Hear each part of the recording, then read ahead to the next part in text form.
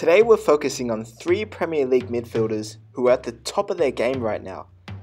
Now with these three players, I want to highlight two things, that's their vision and movement, both essential attributes for central midfielders. Now the first example of vision here, David Silva, plays a beautiful pass into Bony. So what's great here is the vision of Silva. He spots that space in behind the defence, he sees Bony's run, and he plays it there with this beautiful lob technique. And usually that will be a goal. Just great by Silva. Next example.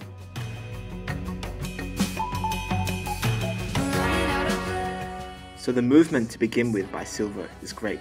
He drops back, he's thinking two passes ahead, and as he gets that ball, he spots the run of Aguero, he sees the space behind the defense, and he plays another beautiful lobbed ball over. Now, I want to touch upon the partnership between Liverpool's Henderson and Sturridge. If you're a midfielder who wants to get more assists, or a striker who wants to score more goals, then it's important that you have an understanding with each other. So here, as soon as Henderson gets the ball, Sturridge on the top of the screen there is already on his bike. Even 40 yards away they have this understanding, and Henderson has the vision to spot him every time.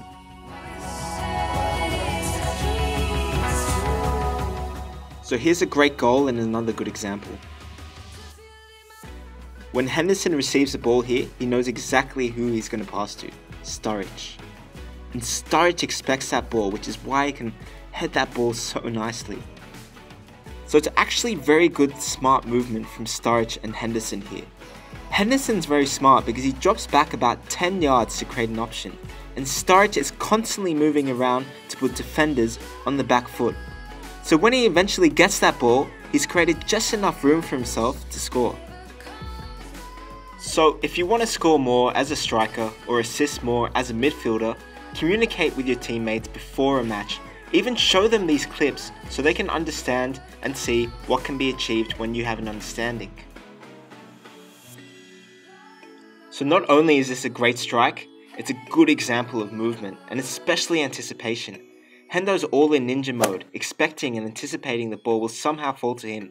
This gives him the momentum to launch a fantastic strike. So David Silva gets the ball here. He sees the run, he passes, and he doesn't stop and just wait. He comes in, gets that ball, and that's how he scores a goal.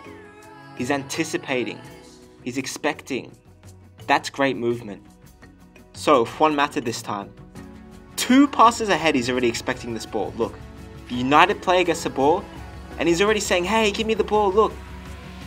And that's why he gets the ball, he's already in full pace, and he's able to get that time and space for a finish. So last example here. Um, example of good give and go movement. Mata gives that 1-2 pass, and he receives the ball behind that midfield, ready to pass it on. Now he does this again. This time he gets the ball here, he waits for the United player to come back.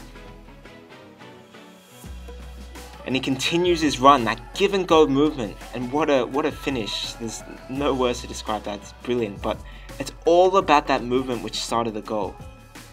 All about that movement. So I hope you learned a lot from that video. Um, since the last update, the channel has grown and there are over a thousand subscribers now um, and that's fantastic. So you're gonna start seeing more videos uploaded now um, and uh, if you have any suggestions just leave them in the comments below and um, we'll see what we can do. So until next time train effective